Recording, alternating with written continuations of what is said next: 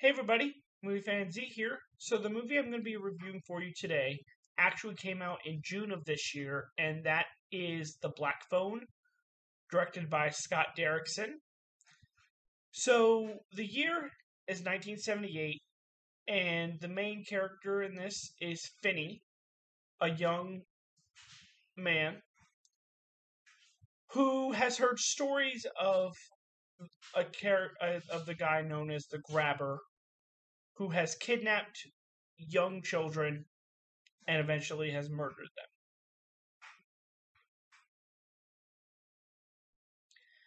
So Finney is grabbed, and we're along for the ride. And the interesting thing is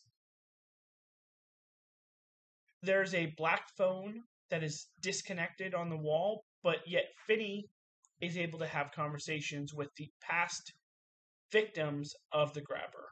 So we're along for the ride and seeing is he going to escape? Unlike the others.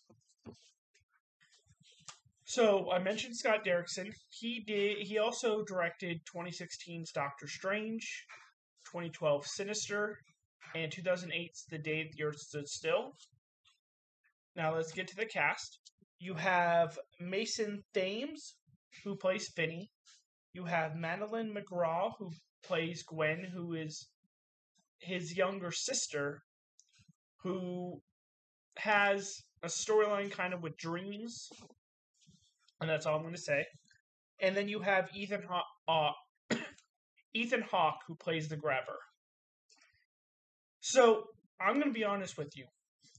I had heard nothing good about this movie, and the trailer didn't excite me, and the story at first didn't really grab me.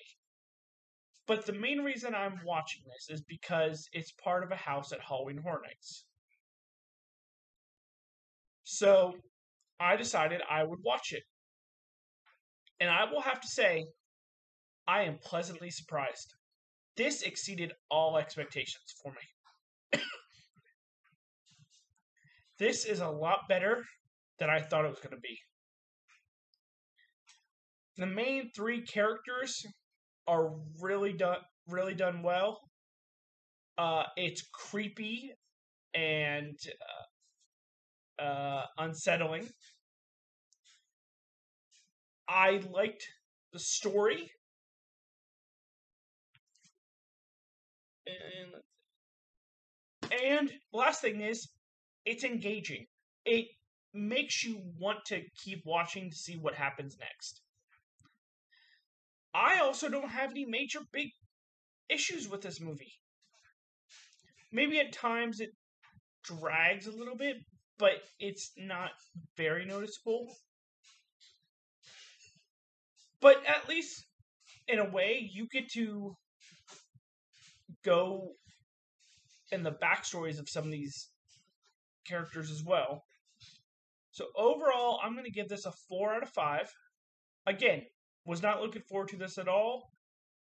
And I thought it was going to be a waste of time. Ended up really enjoying it.